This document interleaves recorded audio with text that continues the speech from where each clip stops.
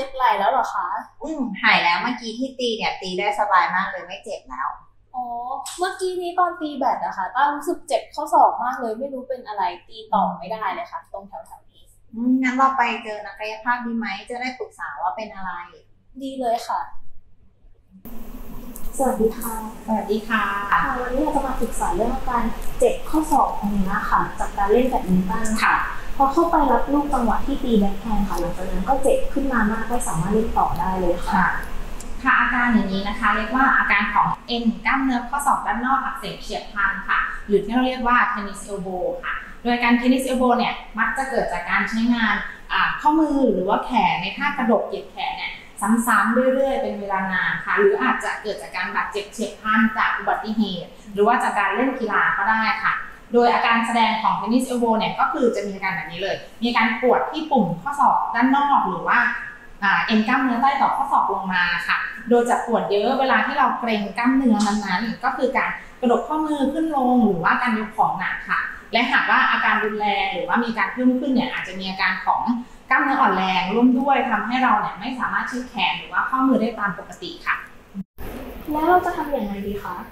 ค่ะในเบื้องต้นนะคะ เราก็จะแนะนำการดูแลตัวเองเบื้องต้น โดยการลดอักเสบในระยะอักเสบเนี่ยก็จะมีการปวดบวมแดงแล้วก็ร้อนนะคะ โดยใช้หลักการของ Price P R I C E ค่ะ P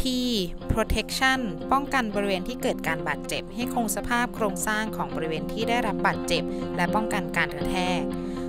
R rest หลังการบาดเจ็บควรพักการใช้งานแขน ศอก หรือข้อมือข้างนั้นๆ เพื่อป้องกันการบาดเจ็บที่มากขึ้น และให้กล้ามเนื้อได้ฟื้นตัว I ice คือการใช้น้ำแข็งหรือความเย็นในการประคบเพื่อลดอาการอักเสบที่เกิดขึ้น C compression การใช้ผ้ายืดหรือ support ข้อศอกพันบริเวณที่มีอาการอักเสบไว้ เพื่อลดการบวมจากการอักเสบ elevation การยกบริเวณที่บาดเจ็บให้ขึ้นสูงกว่าระดับหัวใจ อาจใช้หมอนในการรองเพื่อไม่ให้บริเวณที่อักเสบตกลงตามแรงโน้มถ่วงค่ะและเมื่อการอักเสบของบริเวณที่บาดเจ็บดีขึ้นแล้วนะคะเราก็จะมีการเพิ่มกำลังกล้ามเนื้อนะคะเพื่อเพิ่มความแข็งแรงแล้วก็มีการปรับสมดุลของกล้ามเนื้อค่ะโดยสมดุลของกล้ามเนื้อเนี่ยเวลาเราใช้งานนะคะกล้ามเนื้อทั้งสองฝั่งจะต้องมีความสมดุลกัน หากมีกล้ามเนื้อฝั่งใดฝั่งหนึ่งที่ตึงเกินไปหรือว่า อ่อนแรงมากเกินไป ก็จะทำให้เกิดการดึงของกล้ามเนื้อที่ผิดปกติ และอาจจะทำให้เอ็นบริเวณนั้นเนี่ยเสียดสีกับปุ่มกระดูกได้ง่ายมากขึ้นค่ะ เราก็เลยต้องปรับกล้ามเนื้อเนี่ยให้สมดุลหนึ่งก็คือการยืดหรือว่าคลายกล้ามเนื้อค่ะบริเวณทั้งหน้าแขนแล้วก็หลังแขนสองคือการออกกำลังกายกล้ามเนื้อทั้งสองด้านเหมือนกันค่ะ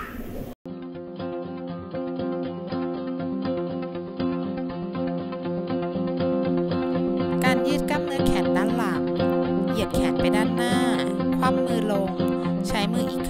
จับหลังมือกระดกลงจนรู้สึกตึงแต่ไม่เจ็บ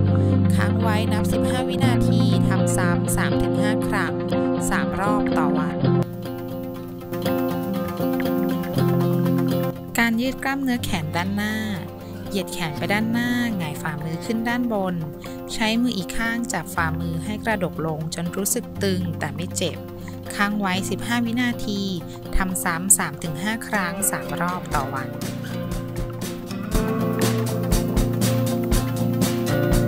ถ้าออกกำลังกายกล้ามเนื้อแขนด้านหลัง นั่งตัวตรงแขนวางบนโต๊ะ ข้อศอกงอ 90 องศา คว่ำฝ่ามือลง ถือดัมเบลน้ำหนักเริ่มต้นที่ 0.5 กิโลกรัมหรือขวดน้ำ กระดกข้อมือขึ้น 10 ครั้ง ทำซ้ำ 3 รอบต่อวันถ้าออกกำลังกายกล้ามเนื้อแขนด้านหน้า นั่งตัวตรงแขนวางบนโต๊ะ ข้อศอกงอ 90 องศา หงายฝ่ามือออก ถือดัมเบลน้ำหนักเริ่มต้นที่ 0.5 กิโลกรัม หรือขวดน้ำ กระดกข้อมือขึ้น 10 ครั้ง ทำซ้ำ 3 รอบต่อวันถ้าออกกำลังกายกล้ามเนื้อกำมือ นั่งหรือยืนตัวตรง กำมือขยำลูกบอลค้างไว้ นับ 1-5 แล้วปล่อยออก 10 ครั้ง ทำซ้ำ 3 รอบต่อวัน